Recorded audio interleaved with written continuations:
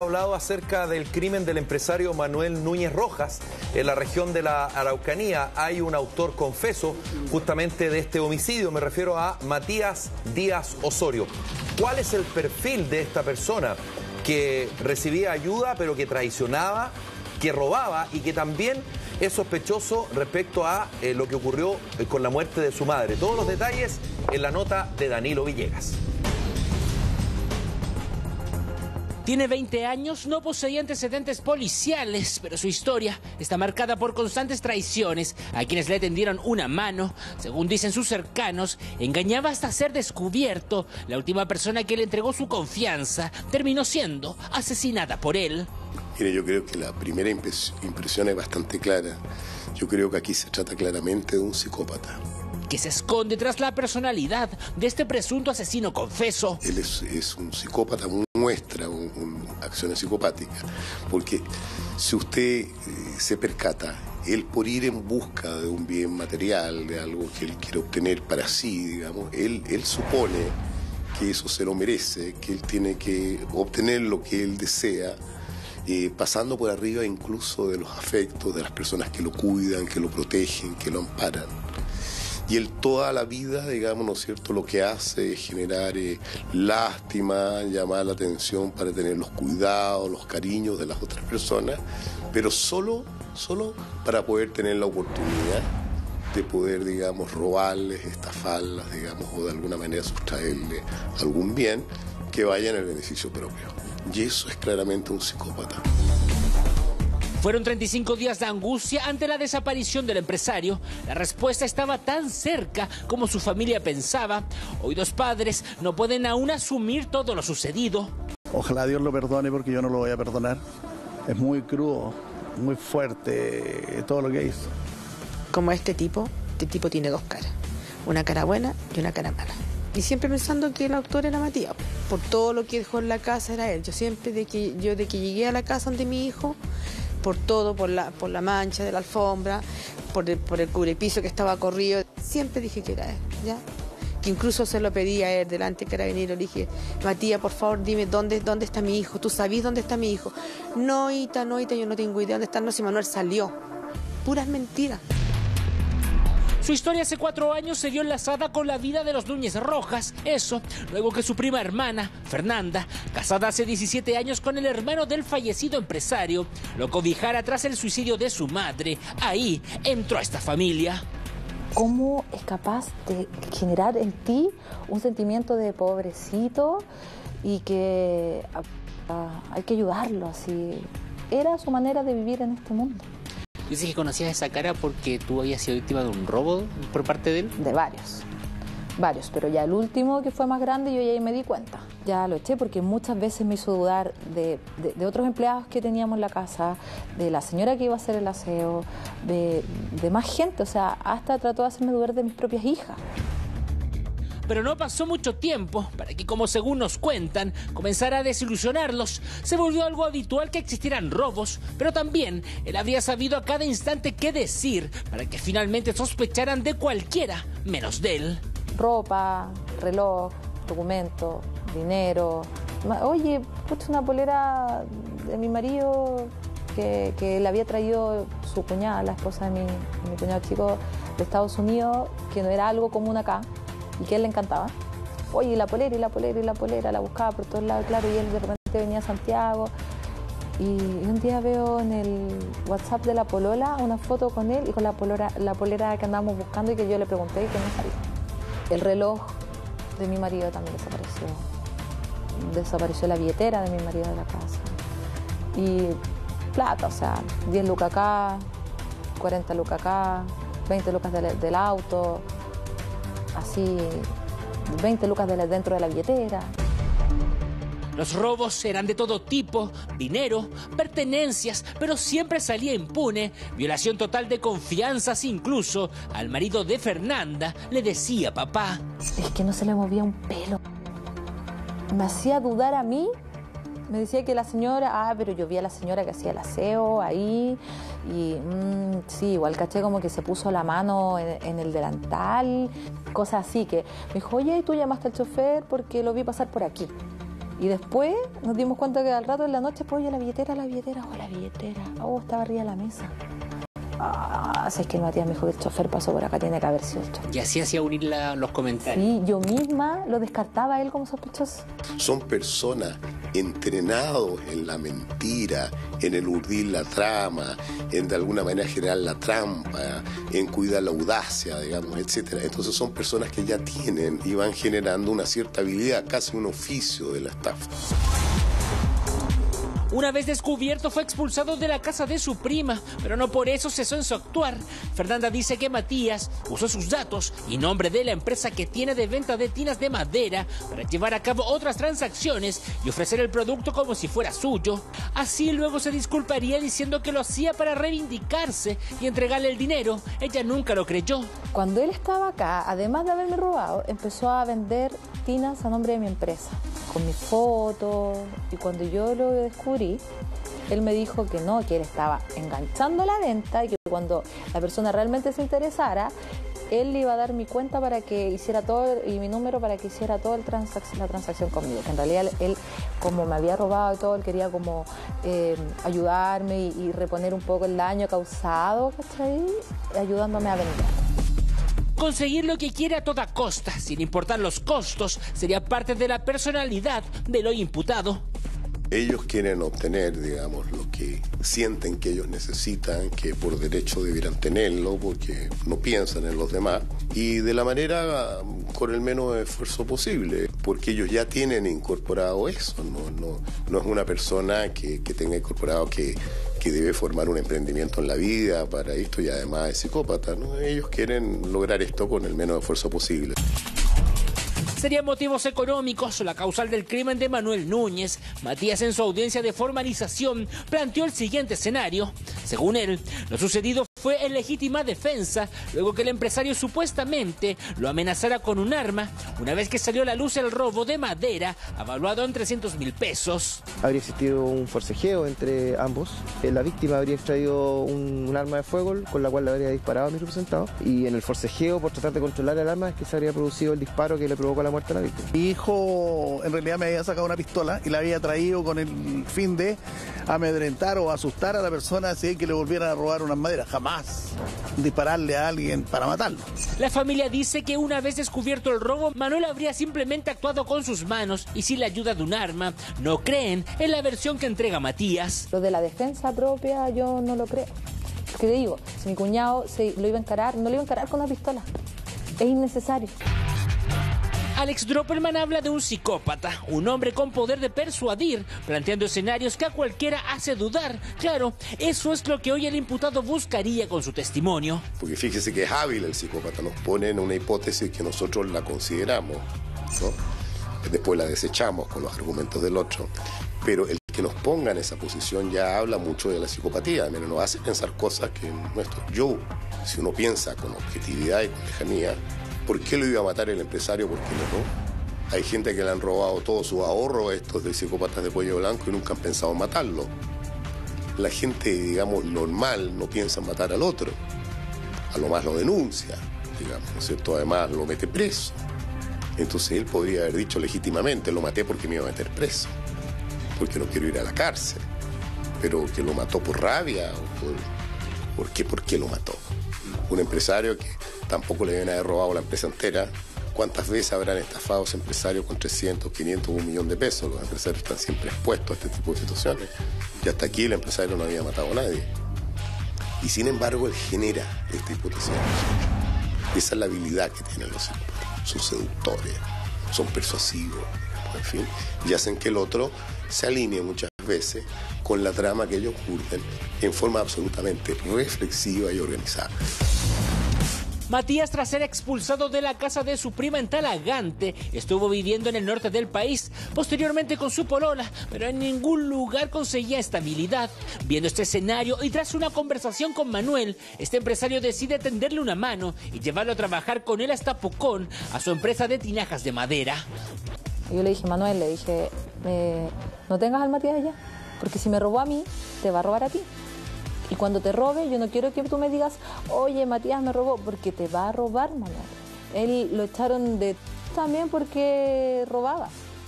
Entonces es un patrón que él sigue, que donde está, él anda viendo qué robar, eh, como dicen, es como doméstico.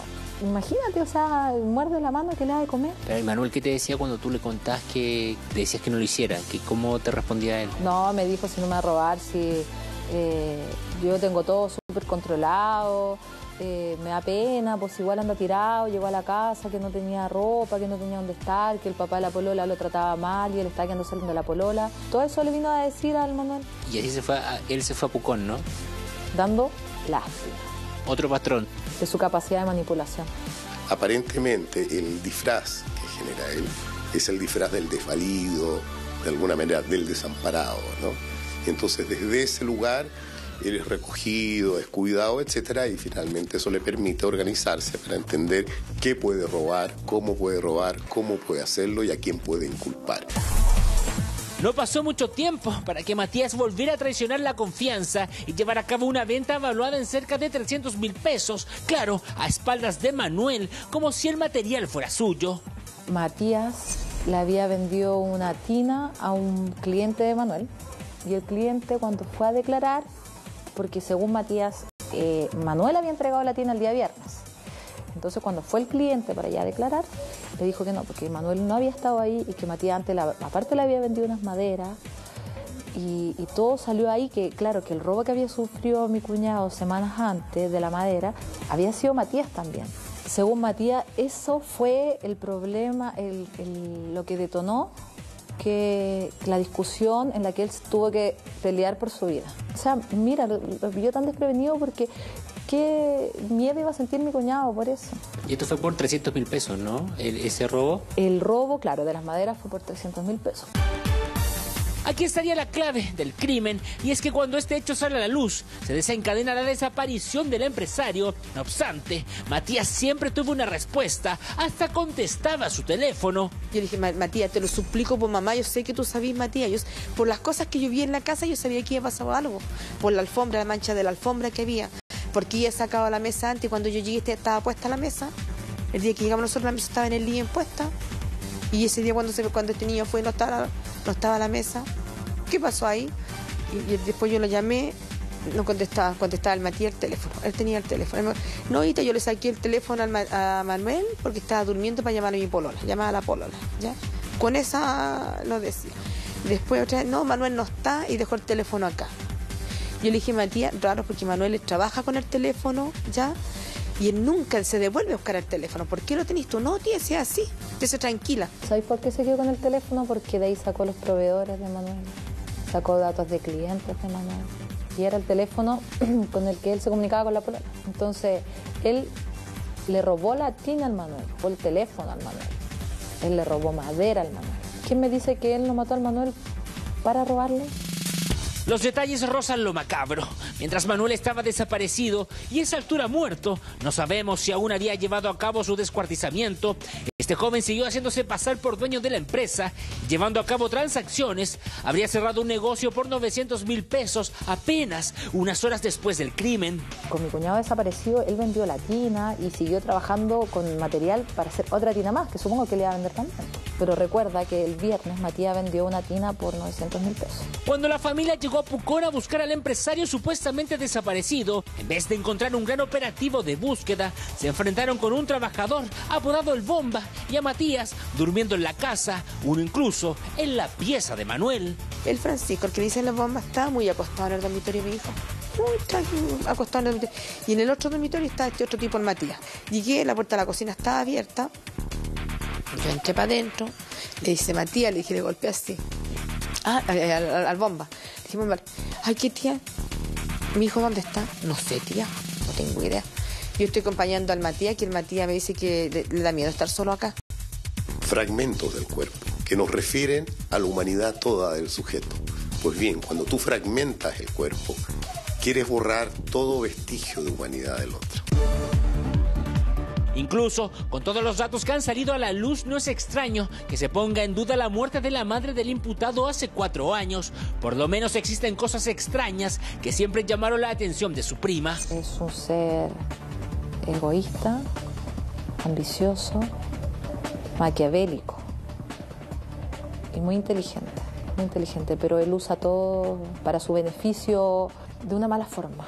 En vez de, su inteligencia ocuparla en generar un proyecto, en tirar para arriba, en, decir, ah, no, es que yo, bueno, su egocentrismo, decir, ya, yo quiero ser grande, quiero llegar lejos, nunca fue nada por sí solo.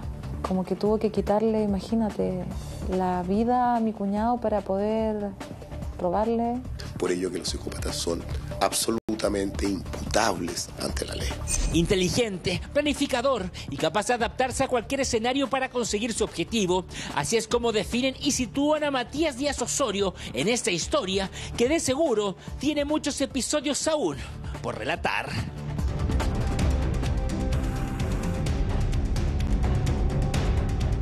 Una persona eh, logró convivir más de un año con un cadáver en el patio de su casa.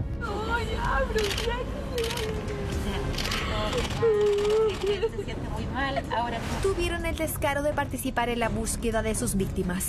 Luego de cometer el delito, nadie dudaba de ellos y por lo mismo se acercaron a la familia en plena desgracia. Algunos incluso gozaron con la desfachatez de entregar pistas falsas y desviar la atención de la policía. Otros fueron más allá y lloraron frente a la desdicha que decían sentir.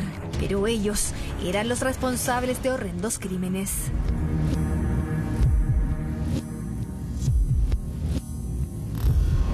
Esconden estos sujetos que se convirtieron en descarados asesinos?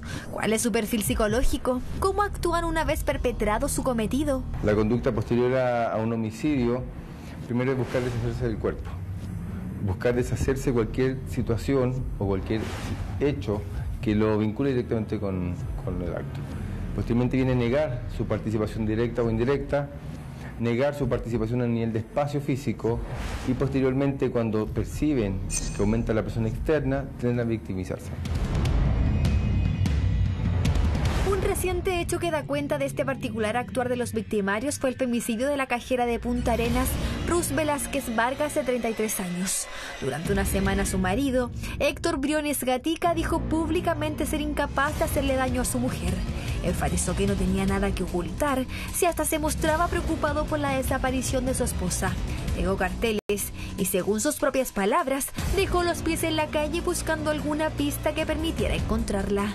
El vecino no lo ve que está súper preocupado, anda súper mal ni duerme. Entonces, de por sí el caso es preocupante. La PDI comenzó a reconstruir las últimas horas de la mujer antes de su extraña desaparición.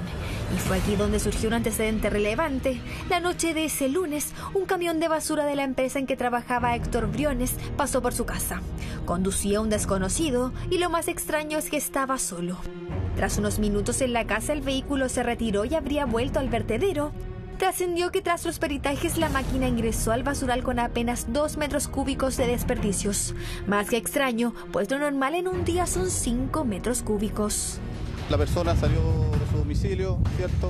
Eh, sin dejar ningún tipo de información, digamos, como base para nosotros poder eh, seguir algún tipo de línea de investigación así terminante, digamos, y, decir, pucha, nos dirigimos solamente eh, por este lado. No, como le digo y le dije en un principio, eh, aquí todo eh, lo que recibe la etapa de investigación tenemos que seguirla y todo lo que surja en el camino tenemos que investigarlo.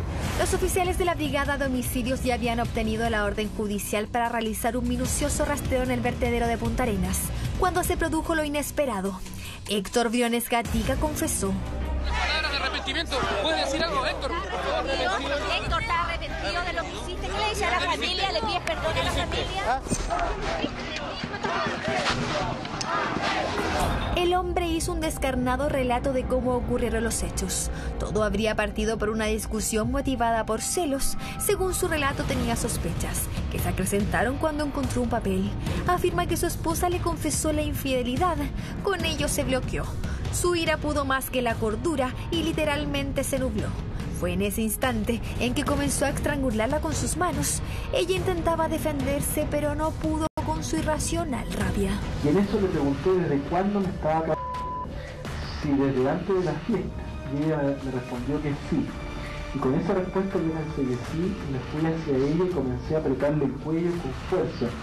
Y ella tiraba manotazos, pero le seguía apretando el cuello. Y en eso ella ya no tiraba manotazos. Y en un momento ya no se movió más.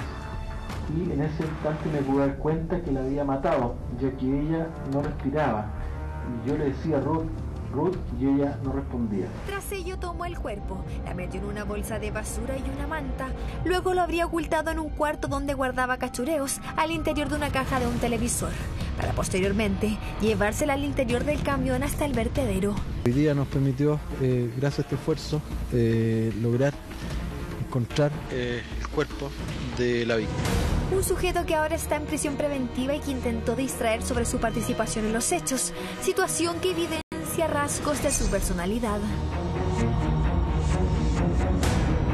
Buscar generar lo otro, que lo que se llama un subterfugio, quiere decir conductas evasivas, disuasivas, con el fin de que los otros me perciban a mí como una víctima. Se desapareció mi mujer y no llegar a pensar que yo realmente atenté contra ellos.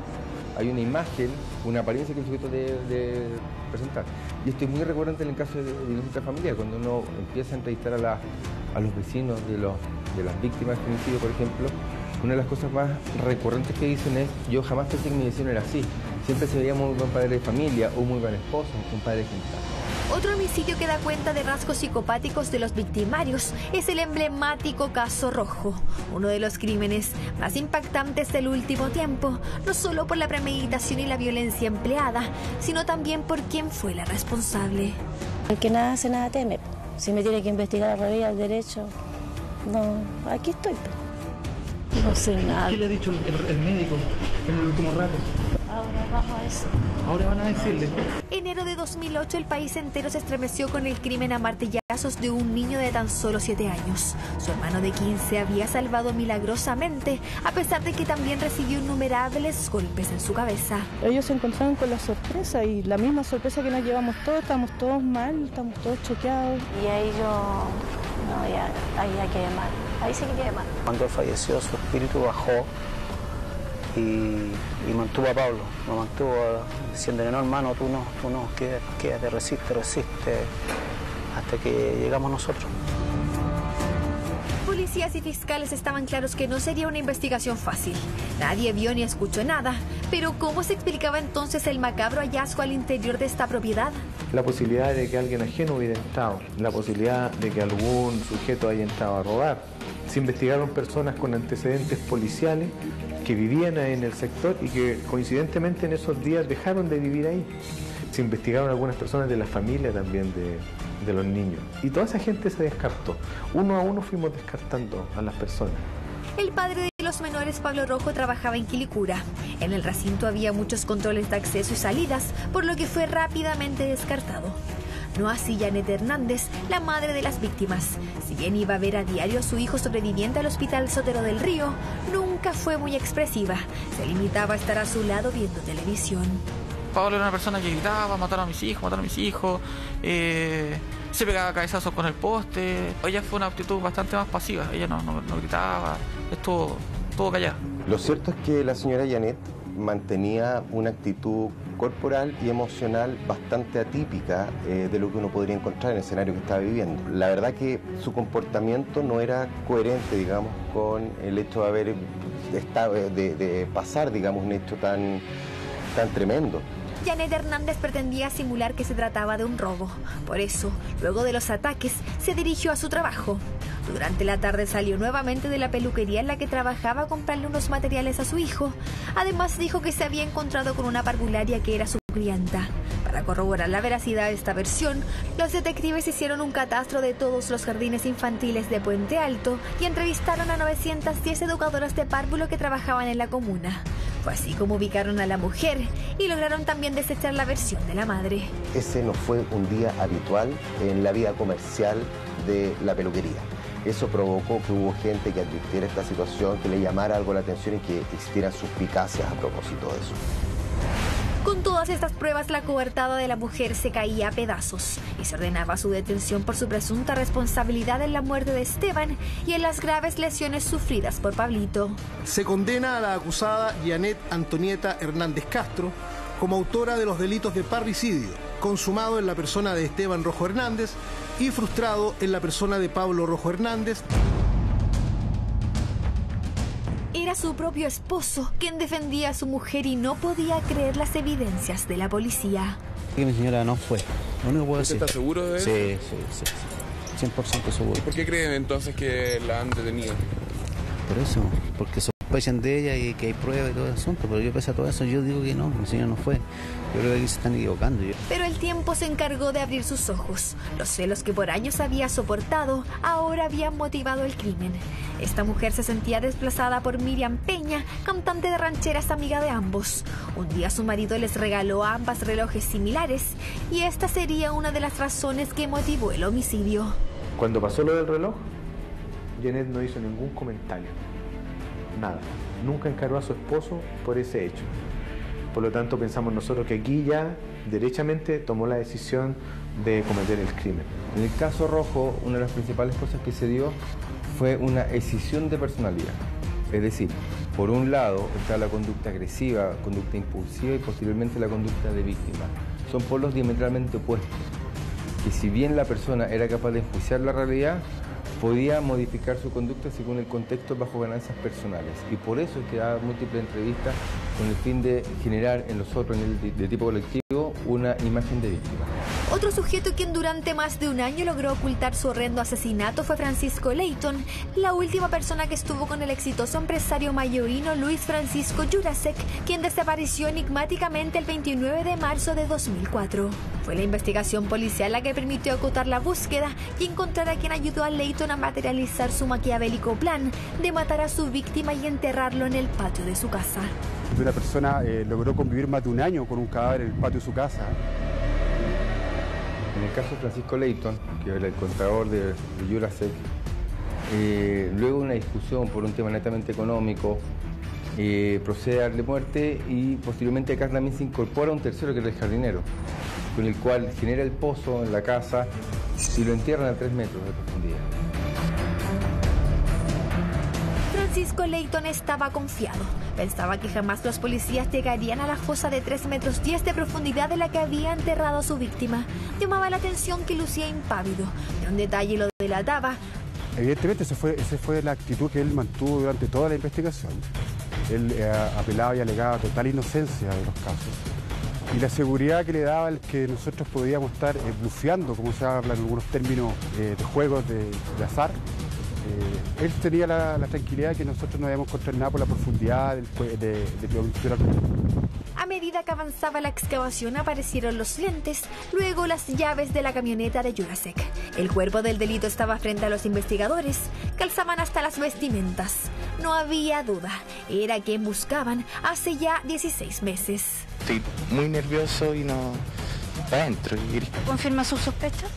eh, de todas maneras. ¿Cómo ha reaccionado la familia con todo esto? Yo no, no quiero hablar más del tema, que estoy tan mal que no, no- no- me dejó muy mal la noticia. Por lo menos vamos a poder vivir el luto ya tranquilo ya después de tanto tiempo. ¿Ustedes sabían que acá estaba toda la verdad? No, pues no sabía.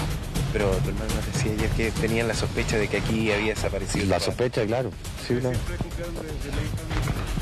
Eh, Sí, siempre. Con tal cúmulo de evidencia se decretaba la detención de Francisco Leighton. Fue trasladado hasta el Tribunal de Garantía donde se detallaron cada uno de los macabros hechos. Posteriormente, en la reparación efectuada al efecto en, en el jardín de su casa, deja caer el cuerpo sin vida de, los marrones, procediendo a cubrir dicho cuerpo con una mezcla de concreto preparada en una máquina betonera de propiedad del diputado y asimismo arroja también un plástico negro que cubre el cuerpo del señor Llorente. Pero esa operación no la hizo solo. El albañil Pedro Valenzuela fue quien le ayudó y pese a que alegó desconocer lo que había en el interior de la excavación, quedó también detenido. Siempre supimos que él era, pero nunca nos imaginamos que podía haber hecho algo tan macabro como lo que hizo. Un puzzle policial que tras meses de investigación evidenció que todas las pistas encontradas a lo largo del proceso solo fueron distractores que no le permitían a la policía dar con el verdadero culpable y que dan cuenta de una personalidad fría y calculadora de este hombre. Hablamos de personas que son altamente frías emocionalmente, que se vincula con la psicopatía. Hay un aplanamiento emocional donde hay carencia de empatía y por tanto las conductas impulsivas la manifiesta independientemente a lo que ocurra con el otro.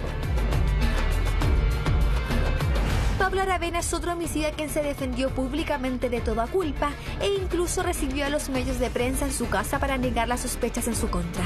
Rechazaba fehacientemente ser el autor del triple homicidio de Peña Blanca, donde la ambición y una herencia fueron las motivaciones para terminar con la vida de tres de sus familiares. El pasado te condena. Y si tenés yaya y ahí hecho las mil y una y fuiste a la hoja negra y le diste puros dolores de cabeza al papá, es como normal que piensen que, que yo puedo estar involucrado en esto. Yo no tengo guardadas, yo tengo verdad nomás, nada más. Y mi verdad es que no estuve donde dicen que estuve. Si no hay que tapar el dedo con un sol, ni decir que yo soy un ángel, ni que no me voy a poner esa vara, porque es mentira. ¿Cachai? Me he mandado mil cagas. Pero ya no. Viveca Segovia de 50 años, Felipe Aravena de 17 y Victoria Donoso fueron asesinados por el mismo hombre. El padre de los medios hermanos Felipe y Pablo y pareja de Viveca dos años antes había fallecido por problemas de salud. En el testamento beneficiaba a su nueva familia y muy poco a Pablo Aravena, una razón para que las sospechas cayeran sobre este hombre. Por una casa que iban a vender, le correspondía una parte, pequeña eso. Y él pidió, ponte tú que eran, no sé, 2 o 3 millones de pesos y él pidió 30 millones de pesos. Y cuando mi hermana le dijo que no, que él no le correspondía eso, le, corrió, le, le, encendió esa llama de, de, la, de, la, de la maldad, de la, de la violencia. Deja el 4% de dos propiedades, pero le deja una casa a mi hermana entera y un departamento a Felipe. Y ahí él entra a la rabia total. Finalmente es acusado por la policía y según los datos obtenidos en las diligencias de los investigadores, Pablo Aravena habría llegado a la casa. Entró sin ser descubierto, esperó la llegada de cada una de sus víctimas. Felipe fue el primero y tras abrir la puerta fue violentamente atacado por su medio hermano.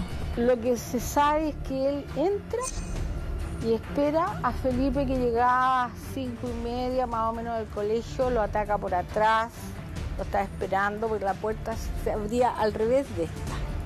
Entonces quedaba un espacio ahí. Lo toma del cuello porque lo estrangula. Todos los certificados de fallecimiento de las tres personas son por eh, Estrangulamiento. estrangulamiento. Viveca ese fue la segunda en llegar a la casa, igual que su hijo solo alcanzó a dar algunos pasos cuando fue atacada y estrangulada por Aravena. La empleada de la casa fue la tercera en llegar y corrió la misma suerte. Bueno, ¿y por qué asesinó a la empleada? ¿Qué tiene que ver la empleada? Es que la empleada lo había visto. La empleada había llamado a mi hermana, si usted habla con mi hermana le puede preguntar. Lo había visto en la casa, la empleada le tenía miedo.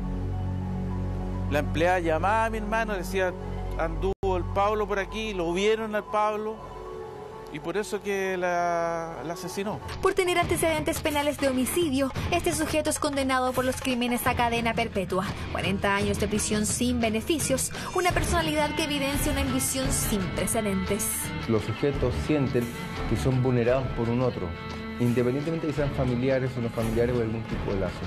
La vulneración implica despliegue de conductas agresivas en estos casos, lo que da cuenta de un trastorno de personalidad tipo narciso maligno, donde yo busco destruir a un otro independientemente a la vinculación que tenga con él.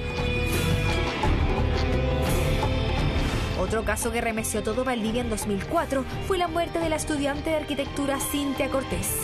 La noche del 31 de octubre fue la última vez en que se le vio con vida. Ese día en el campus Isla Teja de la Universidad Austral se desarrolló una fiesta en el casino. Era la noche de Halloween que coincidía además con el cierre de un seminario. En la jornada la joven ingresó junto a su compañero Carlos Núñez. Estuvimos conversando fuera del, entre el casino y el gimnasio. Y bueno, entramos a la fiesta, como a las 3 más o menos, alrededor de las 3. Eh, bueno, adentro conversamos, eh, bailamos, echamos la talla, todo el cuento, lo que se hace en una fiesta. En un momento Cintia le pidió a este joven que la acompañara al baño y desde ese instante ya nadie ve a Cintia. Como a las cuatro y media menos. las 4 y media, ¿cómo estaba ella? Em, estaba sola como eh, escondiéndose a alguien adentro del baño. Me volvió a pedir que la acompañe al baño. Claro, yo ahí yo le dije que la- le dije que le iba a esperar a, le iba a esperar afuera del baño mujeres, porque como yo no quise entrar al baño. Eh, y bueno, en eso estaba esperando llegó otro compañero, Alexia Asenjo, la estuvimos esperando ahí. tiene que haber pasado 10 minutos más o menos. Y no salía la Cintia, ¿cachai? No salía, entonces eh, le pregunté a una niña que le dije que pregunte por Cintia en el baño porque como no salía, entonces... Bueno, esta chica salió, se habrá demorado cuánto, y buscaron a sus víctimas para sus coartadas, por supuesto. Seguimos viendo estas, estas historias a la vuelta de esta breve pausa comercial aquí en la mañana.